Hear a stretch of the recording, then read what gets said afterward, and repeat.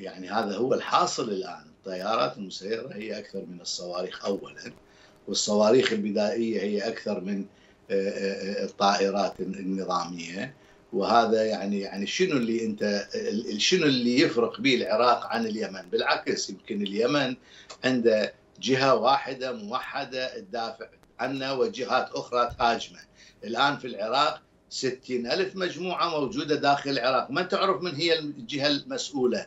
ما تعرف من هي الجهة التي تدافع عن العراق؟ من هي المسؤولة عن حماية أجواء العراق؟ ما موجود هذا الشيء. يعني أنت لا تستطيع أن العراق أصبح في بحالة لا يمكن أن يقارن بأي دولة من الدول. سوريا الآن فيها جيش يدافع عنها. حتى اليمن آه، عفوا حتى ليبيا هنالك فصائل تدافع عن جهة وفصائل تدافع عن جهة. العراق ماكو يعني بالشمال في في شمال العراق البيشمركة يقول لك نحن من يدافع وما نحن من نتصرف.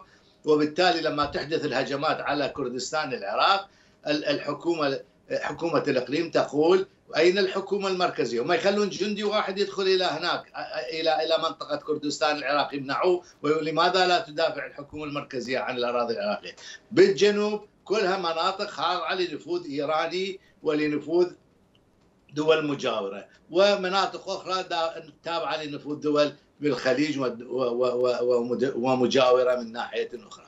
كيف تستطيع أن تقول إنه هذا العراق سينتقل إلى أن يكون العراق أصلا هو في حال أسوأ من اليمن ومن كل الدول التي تعرضت لهذه الأزمة.